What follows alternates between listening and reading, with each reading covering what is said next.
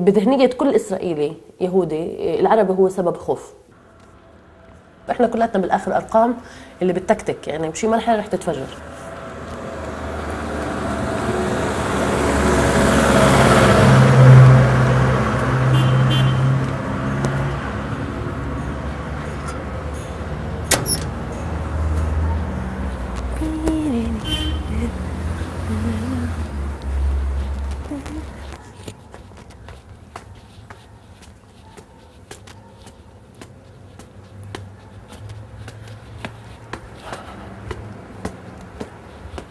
أنا خلود بدوي من الناصري ساكنة بالقدس آه، بشتغل آه، بجمعية حقوق المواطن في إسرائيل وكمان نشيطة في عدة حركات آه، إسرائيلية ضد الاحتلال أو حركات ناشطة ضد الاحتلال والعنصرية في إسرائيل. I think part of the problem is that because the, the resistance against the occupation has been passing the process of privatization.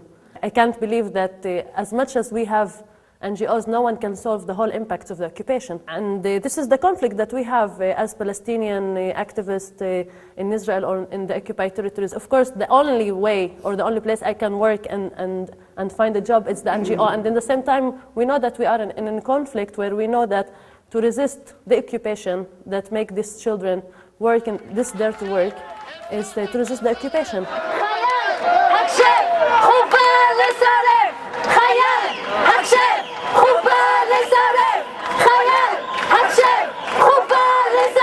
بداية نشاطي كانوا قبل ما أجي على القدس التمهيد كان في مرحلة يعني مرحلة نشاطي ابتدأت في الأساس من الناصري من مدرستي من الأهل في الأساس من البيت. بيتنا هو بيت مش نشيط سياسيا بس بنفس الوقت هو بيت فيه تربية سياسية وفيه تربية كمان كتير وطنية كتير عالية. يعني من واحدة من ثوابت التربية عندنا في البيت هي التربية السياسية والتوعية الوطنية.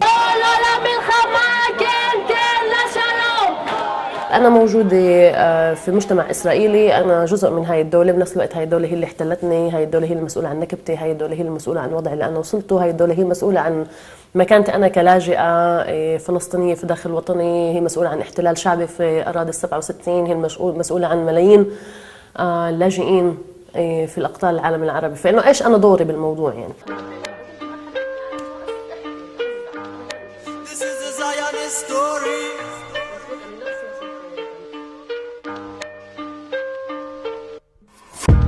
Zionists came with ships to the Holy Land. And nowadays they don't admit it's a stolen land. I throw a rock with a swollen hand. Dig it in the earth and raise my fist with the golden sand. But they came back with F-16s and tanks. Assassins for high ranks. So we settled for this to the West Bank. Started putting checkpoints to the violence. Even more settlements on every hilltop من ضمن نشاطي مع الجبهة في جامعة حيفا كمان قدرت أنه أكون نشيطة في عدة أطر طلابية في الجامعة. اللي من خلال نشاطي الحزبي ونشاط الطلاب قدرت إني أحصل على ثقة الطلاب العرب في جامعة حيفا لانتخابي كرئيسة لجنة الطلاب العرب في سنة 2000 وكرئيسة اتحاد طلاب جامعين عرب. هاي سابقة لأنه أول مرة تنتخب امرأة عربية لمنصب رئيس اتحاد الطلاب العرب اللي هو مظلة الحركات الطلابية.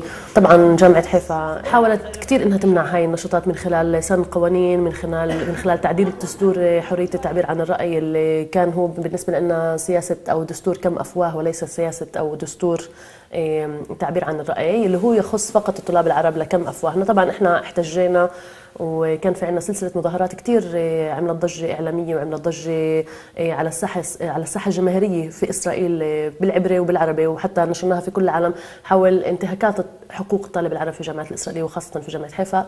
كنت أنا في آخر سنة للتوأر اللقب الأول تبعي وكانت النتيجة في النهاية إنه أنا تم طردي ومنعي من الدخول لمدة سنة ونص سنتين تقريبا. غير إنه طبعا تحقيقات طلبونا كثير مرات لمراكز الشرطة للتحقيق إن كان بالليل أو بالنهار أو يجوا يلحقونا على محلات الشغل تبعتنا أو في الجامعات وكنا دائما ملاحقين من من رجال امن اللي هن بزي مدني اللي ما بتقدري أنت تميزيهم إذا هن فعلا من أجهزة الأمن أو أي شخص عادي عم بلاحق يعني. فكانت المرحلة كثير صعبة. من من هناك يعني أنا أكثر بلشت أوعى إنه في حاجة عندي كانت كتير ملحة إنه إيه إنه أعرف بالضبط إيش اللي بخليني أو إيش الدافع تبعي إنه أكون هالقد نشيطة وإني كمان أدفع ثمن وإن هالقد كمان أكون فخورة بإيش أنا عم بعمل و... ولمين.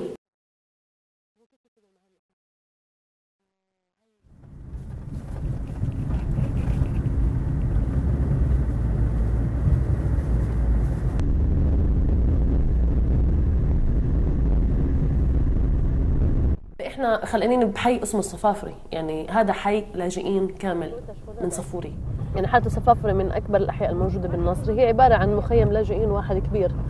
إيه، اللي كمان حتى بالبنى بالهندسة حيث حتى فيه يعني المعمارية والاكتظاظ فيه ممكن تلاقيه كثير متشابه مع إيه، أي مخيم لاجئين موجود بمحل ثاني إيه، بالأساس هن طبعا لاجئين قرية صفوري اللي كانت أقرب منطقة عليهم ب 48 بعد النكبة إنهم يلجأوا لها كانت الناصري أغلب العائلات الموجودة العائلات, العائلات الصفورية الموجودة في حي الصفافرة بالناصر اليوم أغلب هاي العائلات عندها أقارب في سوريا وفي لبنان بالأساس في لبنان طبعا في مخيمات اللاجئين في لبنان.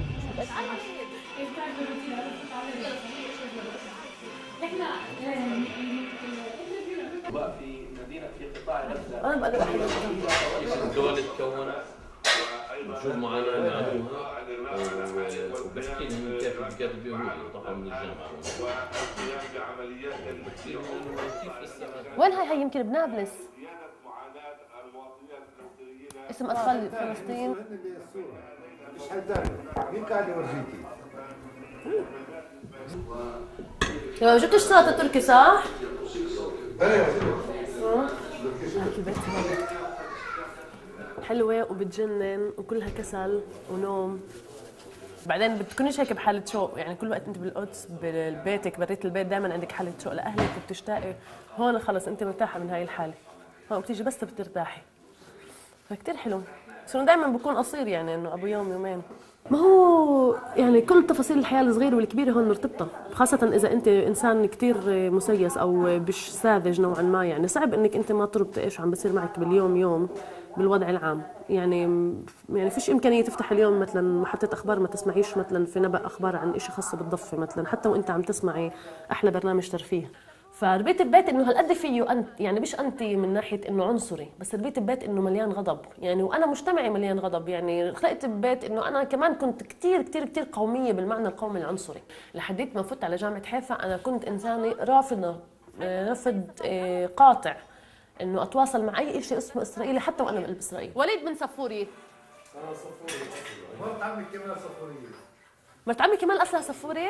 طبعا مع الصفوري قدم قدم. مع الصفوري زرع عباس صفافي والهمل كله صفافي امم ما في يعني يعني بفتح الشباك بشوف صفوري آه إحنا صفوري من عندنا بتبين. إحنا صفوري إياها قدامنا هذا الفيو تبعنا. كل شيء مرتبط مع مع عنصرية الدولة ومع كل النظام اللي إحنا عايشين بظله اللي هو نظام كثير احتلالي عنصري يعني. فيش عندك إمكانية إنك أنت تهمشي كل التفاصيل الصغيرة اللي بتفرجيك وجوه هاي العنصرية طالما أنت هون؟ بس إذا بتحملي حالك بتروح أنا مثلا لما بنزل على عمان بنزل على الأردن كثير بكيف. لأنه فعلا عن جد كثير يعني كثير لأنه في شعور راحة مفقود هون.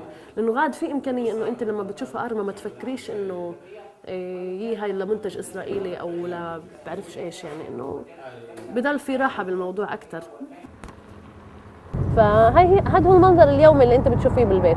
المشهد اليومي إنك تشوفي قرية صفوري وتشوفي الكيبوتس اللي اسمه اليوم تسيبوري تشوفي القلعة تشوفي كل الأراضي الزراعية اللي مهجرة من 48 طبعا وباقي الأراضي كلياتها هي أراضي قرى فلسطينية اللي كمان صودرت أراضيها في بعد قيام الدولة. يعني أنتم من صفوري؟ لا إحنا مش من صفوري. ساكنين حد صفوري هون. بدكم شيء أقدر اساعدكم؟ الشارع هذا بفوت على القلعه جوا. هذا الشارع. وفات لآخر الشجر جوا جوا. القلعه كباري آه وعلى البلد نفسها من هون على البلد. على البلد نفسها من هون بس خليكم يفوتوا من الناحية الثانية. من هون نفوت أحسن على البلد. البلد شو فيها البلد؟ كلها مزارع مزارع بكر صاروا هون يعني ال صفافيه صفوري كباري ال صفافيه كباري آه لا بس أنتم مش لاجئين من صفوري. لا, لا إحنا مش لاجئين من صفوري. آه ستك. من تحت. يعني إلك حصة بهالبلد. طبعا. كل محل لنا حصة بس ما عندناش ولا شبر ارض أنت عايش مع مع شعب عنده كثير أقنعة موجها. اللي بحب إنه بيته يبين حلو وبحب إنه البيت يكون عنده جنينة وبحبه بحب الزراعة والح- والطبيعة وكل هالأشياء. وبنفس الوقت هو غريب عن هاي الطبيعة. يعني يعني لا بيوتهم بتشبه بيوتنا ولا إيه، ولا هم بيشبهونا أصلا يعني كغربيين. وبنفس الوقت إيه، هالقد موجهنين يعني بيامنوا بشغلات اللي هن بيمارسوا النقيض تبعها تماما. يعني أغلب الناس اللي هون ساكنين ساكنين ببيوت مش إلهن وهن بيعرفوا هذا الشيء هاي الأراضي مش أراضيهم. بعد في تاريخ بيشهد إنه كان في هون شعب. أنت مش كاينة يعني بصحراء وصحراء بنيتيها عملتيها مدينة. إنه كلهم هون عايشين على أنقاض شعب ثاني اللي كل حجر هون بفرجي إنه كان في شعب قبل.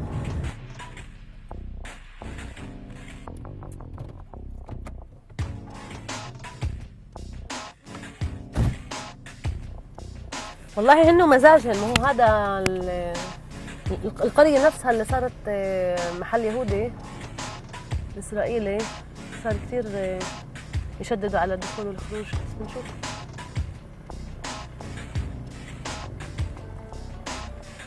آه من صوت التليفون.